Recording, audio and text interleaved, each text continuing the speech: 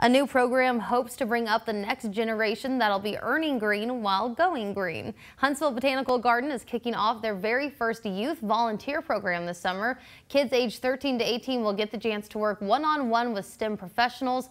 A 2020 report from the U.S. Department of Agriculture shows in the next five years, about 40% of agriculture and horticulture related jobs will be left unfilled. The garden is stepping in to help agriculture, horticulture, ecology, botany.